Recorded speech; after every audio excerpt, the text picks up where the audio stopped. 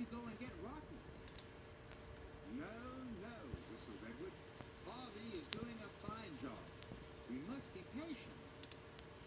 I don't like being patient.